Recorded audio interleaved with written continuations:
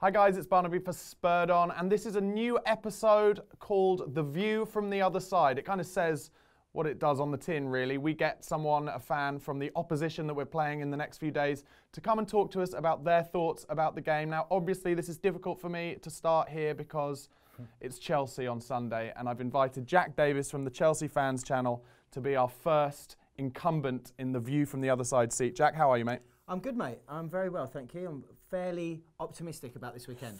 Optimistic. Well, my first question was going to be, are you nervous? So that kind of answers that question. Now, uh, would you say your optimism stems from your recent form or the fact that you used to call it three point lane or a mixture of both? Yeah, well, I think those days of uh, a guaranteed three points at White Hart Lane are over now. Um, Thank Did a little bit of research. In, this will be the 46th time in the Premier League era that we've played this fixture, Mm-hmm. and Spurs have won four so far.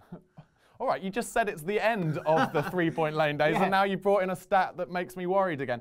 Um, but your form, your form has improved last few games. You beat Norwich, and then you had a, an easy one in the Champions League in Israel. Yes, um, exactly. So we're hoping to make it three on the trot, Mm-hmm. which um, I'm not sure we've done yet this season.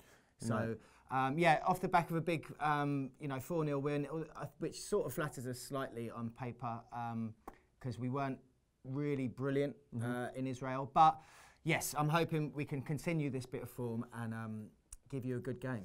Okay, so rumours from what I've seen that uh, John Terry and Ramires uh, are struggling for the game. Now, I have to say, as a Spurs fan, we're always slightly, uh, you know, or at least I feel always slightly a bit iffy when managers uh, mention things like that. I imagine that John Terry is the kind of player who will shake it off Yes. for Sunday. He wouldn't want to miss that one. He gets so much abuse at White Hart Lane, and yet he pretty much always scores. So, do you think he'll he'll shake that off? And what about Ramires? Yeah, I think Ramires, by what I'm hearing, Ramires is probably a definite out. Uh, John Terry, although he was stretchered off uh, in midweek, I think he's going to start. Uh, I think uh, Terry needs to be on Kane. Kane's coming into a bit of form now.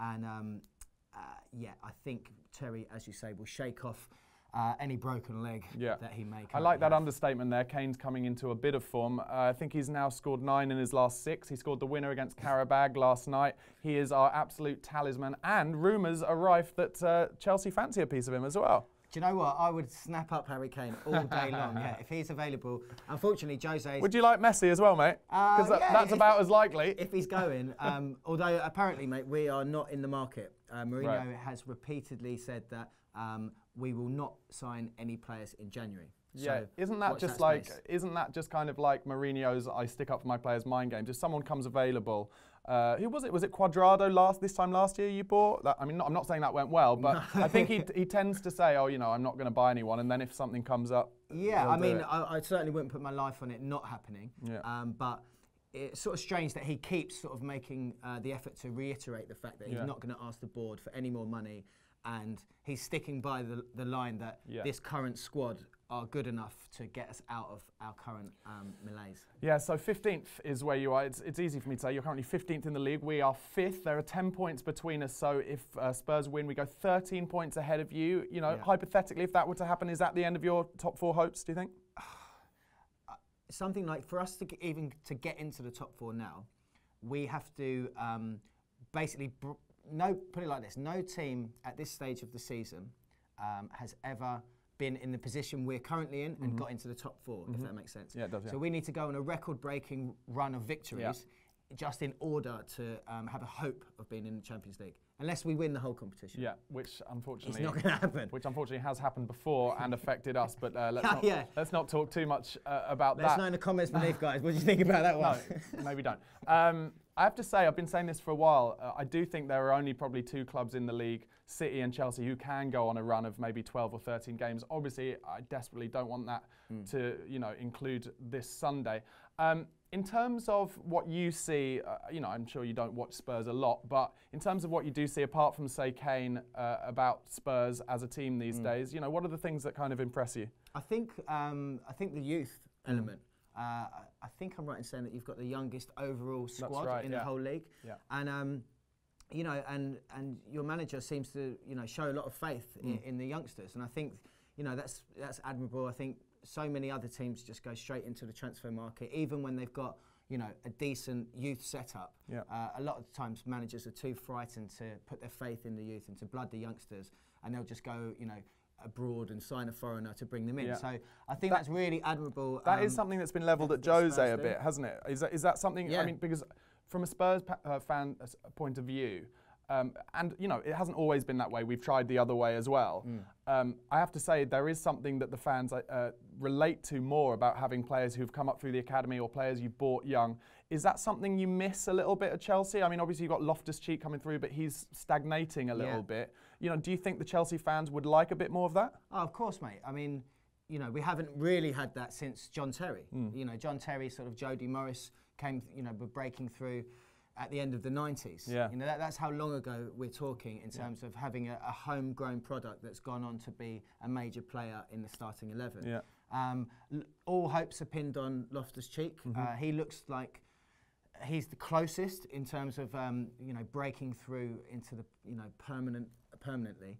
Um, but yeah, it's frustrating, Barnaby, because our youth, you know, we've got so many youngsters at Yeah. Chelsea. I mean, you've seen the amount of players that are out on loan all over Yeah. the world. Is it like And 50 players or I something? I think it's the most you're allowed. Incredible. Yeah. Uh, so it, it is it is frustrating knowing that there's a raft of young talent, you know, on the books. Yeah. And then when you see actually how many of these guys are getting a chance, Yeah. i.e., hardly any like Sure. you know Ruben and Well, a couple of others. And also, and especially uh, in my opinion, when you see how De Bruyne did when he went out to Wolfsburg, and now also Schürrle as well is playing well out there. Now, obviously, they're not youth, uh, they're not academy graduates. They were bought young, and maybe they played in the academy a bit. But you know, that is an example as well as of you not blooding those young players because Yeah, the slightly older players. are- them. you know? yeah. no, Um, yeah, you're right, I suppose, because De Bruyne did play a bit, didn't he? But then for him to then go on to City for 57, 58 million, it must be a slap in the face, Yeah. isn't it? Well, we, we pretty much, you know, it looked like we couldn't wait to get rid of him. Yeah. He came in. I think Jose turned his nose up straight away. Uh, I think there was, you know, there was rumours of an attitude problem as far as De Bruyne was concerned. Right. Um, That doesn't seem quite right. I mean, he doesn't seem like that kind of kid, but Yeah, yeah, I- I- what do you yeah. know? You don't know. I But mean, uh, yeah, I, th- I think um, uh, one of the reasons why we got rid of him was I think Mourinho said, "Okay, you're not gonna, you're not an instant starter. Uh, you have to sort of prove yourself." And uh, I think De Bruyne wasn't entirely, didn't really agree with Mourinho Right. that he shouldn't be, Right. you know, that he wasn't the finished article. Sure. And um, and I think Mourinho's one of those managers that if you, if you, you know, if you cross him too No. much, then he's gonna. absolutely, absolutely. Uh, although that seems a bit unlike what's happened in the last few days with Costa, where they had a run in and then at halftime Jose saying kisses and cuddles. I actually Yeah. thought about this. Um, this was in the uh, game in, uh, it was Maccabi Haifa, wasn't it? Is that the game you were playing? In Tel Aviv. In Tel Aviv, right. Anyway, um, uh, I thought when that happened, any other player to some degree, Jose probably wouldn't pick him for the next game. But really, there's no one instead of Costa, so he has to do the kissing and cuddling thing. Yeah, I mean, we've got Remy, um, who who always looks kind of sharp when he comes on, but you, you just don't have Not top level. huge faith in him. You Yeah. know what I mean? To to, to guarantee, um, you know, if he's put through on goal, to guarantee a score. Although he is a good finisher. Yeah. Um, and Diego, like we're all sticking by him because we know what a machine is. We know what a beast is. He absolutely destroyed every single defence he was put up against Yeah. last season. Yeah. And it's just, it, well, it's the whole Chelsea conundrum of 2014-15. Like, what the bloody hell is going on? Yeah, yeah. Uh, and we keep thinking next game it was going to Yeah. happen. Next game it's going to happen. Yeah. So we keep sticking with them. Hopefully that isn't the case. Uh, okay, so just a couple more questions. Yep. Um, talked a lot about Mourinho.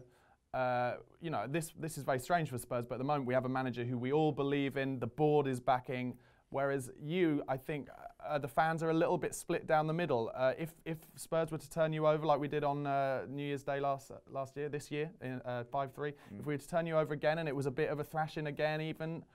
Would Jose's job be in doubt, or do you think Roman's sticking by him this time, whatever? Um, I think you have to stick by uh, Jose Mourinho. I think my personal opinion is, and like, as you said, I think the majority of Chelsea fans are 100% with Jose. There are an element um, who, who are a bit unsure Sure. at the moment, but my opinion is. Each week, if- when you look at the starting eleven, you go, "Yeah, that's a that's a great team. Yeah. All those players are great players. Yeah. It's the players' fault we're in this situation. Right. The manager can only do so much. Yes, there's maybe some behind the scenes arguments and some mm-hmm. weird stuff going on in the dressing room mm-hmm. that we don't know about. But at the end of the day, he's still picking 11 top, top quality players with a few maybe even world class players thrown in. Yeah. And time and time again, it's those players that aren't delivering the goods.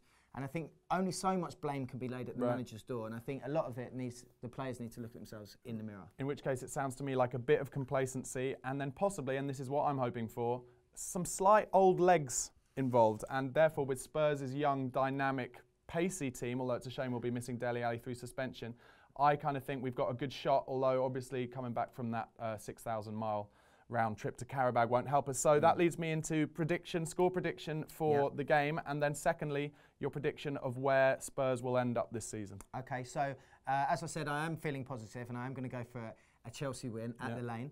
Um, why break the habit of a lifetime? Score? I'm going to go 2 1 with Willian um, scoring another free kick. Yeah. Yeah. Okay. All right. Well, two free kicks by the sound of it. Yeah, Where- yeah, Where's the other at goal least coming one. from? Yeah. Okay. And then uh, where do you think Spurs will end the season? How do you think we'll do? I think you will just miss out on uh, Champions League spot, unfortunately. To you. for you. To you lot. To us, yeah. Uh, I, I, to be honest, I don't think we're going to see too much of a uh, surprise come the end of the season. I think it's going to be, you know, the usual players. Usual suspects. Um, and Liverpool, maybe. Mm, no. I, No. I see. I see Arsenal being there, uh, Yeah. and the two uh, Manchester teams and Chelsea, All right. because we're going to go on that record-breaking run. Well, Jack, I appreciate that. My personal opinion is this: I'm worried about Sunday. I'm worried that Mourinho will Mourinho us like he did in the Capital One Cup final last year. He put Zouma in front of the back four and basically nullified our play. But if Terry's injured, Zouma will have to come into the back four, mm. and then that might open it up a little bit. So I'm worried that it might be 1 0 Chelsea, but I'm hopeful that we'll at least get a draw. And if we do win on Sunday, I'll tell you what, boys and girls.